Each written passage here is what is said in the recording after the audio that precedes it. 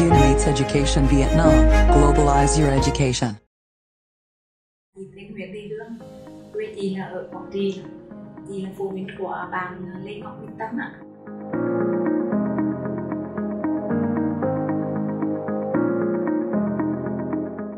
Thứ nhất ạ là giống như chị chị rất tin tưởng và Tâm vì chị cái kỹ năng mà chị tự tin khi Tâm đi ra ngoài á, là vì từ khi học cấp 2 thì um, chị đã để cho Tâm tự lập.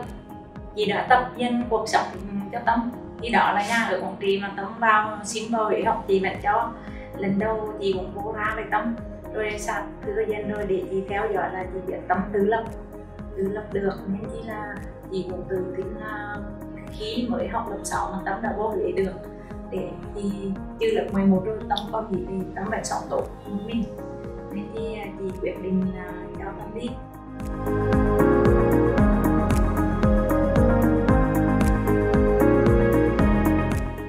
Chị quyết định cho Tâm qua học ở trường đó. Là tại vì là chị cũng tìm hiểu mà Tâm tìm hiểu nhiều hơn chị là Tâm đánh giá là trường đó tốt. Bởi chị cũng được nghe bạn của chị, người quen ở Huế, là cũng đã từng cho qua trường này. Là bạn đó cũng đánh giá là một cách dạy về quan sát con mình cũng rất là tốt. Nên thì chị yên tâm để để cho tâm qua đó học.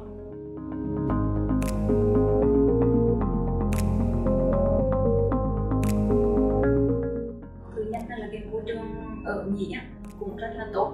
Đó cũng mình cho con mình đi xa là để cũng một cơ hội để học hỏi thêm. Ở Huế, cũng đi vào Huế rất là gần thì chị đối với chị chưa qua bị cũng giống ở Huế thôi. Là tại vì là bữa nay là mình gặp con qua email chat hàng ngày.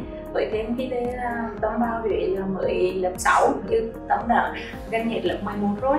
Thì trưởng thân lên nên thì là chị cũng à, tự tin. Thì chị cũng muốn cho con mình có cơ hội tiếp xúc với có những cái gì có thể tốt nhất mà con mình cũng đang mong muốn.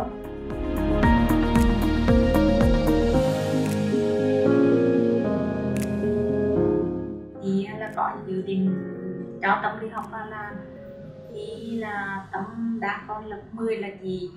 Có dự định thôi, nhưng mà tâm cũng quyết định được. Thì quyết định của tâm mạnh mẽ quá, nên thì chị cũng ủng hộ nhưng mà khi à, lập, lên lớp 6 mà thi vô đầu trường ở Huế mà được vô học ở Huế thì chị là không nghĩ là sẽ như lửa để cho sau này tâm đi du học.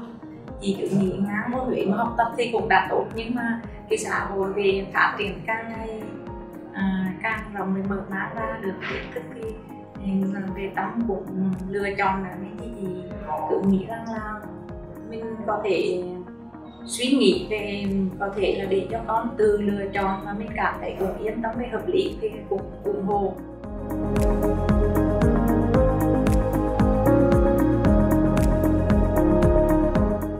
Chị cũng cảm giác rất là nhớ, là giống như quay lại ngày đầu tiên chị đưa tâm mua học cấp 2 ở Huế là chị cũng một lần đi đi vô ở đó là chị nhìn ra cái tòa nhà nữa. Chung cư đó chị khóc suốt chị khóc, nhưng mà dần dần sẽ quen. Nhưng mà đó là lần đầu tiên tầm xa nhà.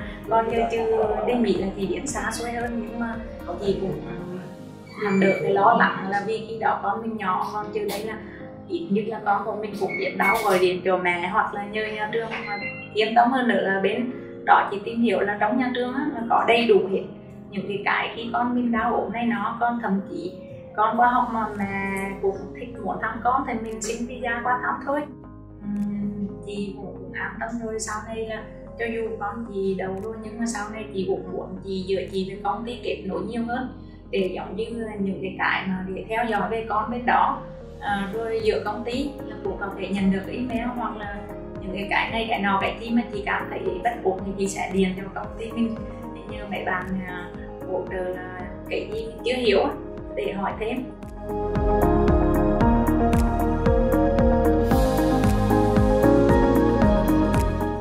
Thì chị cũng rất cảm ơn và có duyên là để chị đến với Yomet là vì qua một, trước tiên là tâm từ tìm hiểu, xong rồi tâm giới thiệu về chị. Mà chị càng tin tưởng hơn là khi có bạn của chị ở Huế là là cũng có cho con đi rồi là cũng nghe lời bạn em là bên Jumet của mình á, là rất chu đạo và nhiệt tình. Thì khi đó chị cũng chỉ nghe thôi nhưng chứ chị cũng cảm nhận là là sự nhiệt tình về thêm trong quá trình làm hồ sơ thì cũng có khó khăn chứ. Ví dụ bên công ty của Jumet là chuẩn bị sẵn rồi những cái cái à, cái thông tin là chị phải cần những giấy tờ gì rồi chị chuẩn bị trong một buổi là đã đầy đủ rồi. Vào đây thì có mấy bạn của công ty mình là hỗ trợ hết rồi. Nên chỉ là cũng dài dỗ cho tâm chuẩn bị những cái này, cái nọ rồi. Cảm ơn em, rồi cảm ơn cả mấy bạn và cả công ty. Ờ, Trong thời gian qua thì giúp đỡ cho chị về hướng dẫn tận tụy, nhiệt tình. Chị cảm ơn.